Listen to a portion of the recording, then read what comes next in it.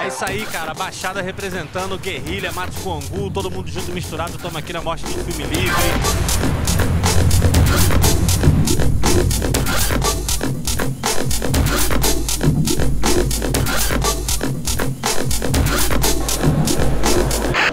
Dentro de tudo que vai rolar na MFL, vai ter o momento do, do Cineclube, que é o que a gente vive, gosta e ferve. Então, a gente vai agora entender um pouco dos critérios para escolher o Cineclube, de como é essa história toda, como é que isso tudo surgiu, como é que foi? Fala aí pra gente.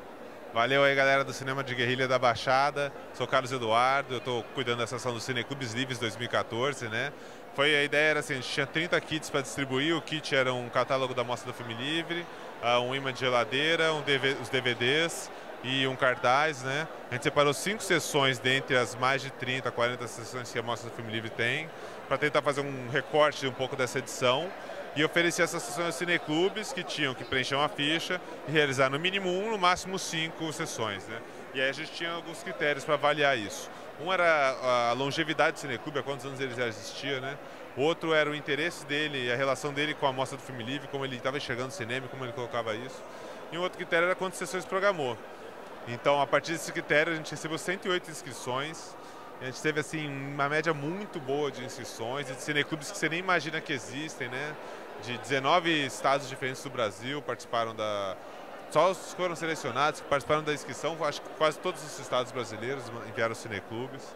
E aí a gente conseguiu selecionar alguns aí. E espera que agora os cineclubes selecionados, eles entendam que o nosso mais justo seria todo mundo ganhar, todo mundo fazer. Mas é uma ação assim que a gente está começando a desenvolver há alguns anos e agora foi uma primeira mais organizada, sistêmica. Assim. O ideal é que cada vez esse número aumente que mais cineclubes e mais filmes a gente consiga enviar também. Porque foram só cinco sessões de várias sessões da Mostra do Filme Livre. Então, até dentro da mostra, a gente teve que fazer um recorte. Que já é um recorte de uma inscrição maior. Ou seja, é, é, você tem que ir fazendo esse recorte para conseguir viabilizar, para fazer acontecer, né? Mas aos poucos a gente vai evoluindo aí. Espero que esse cineclube seja um dos cineclubes aí. Aí estamos juntos.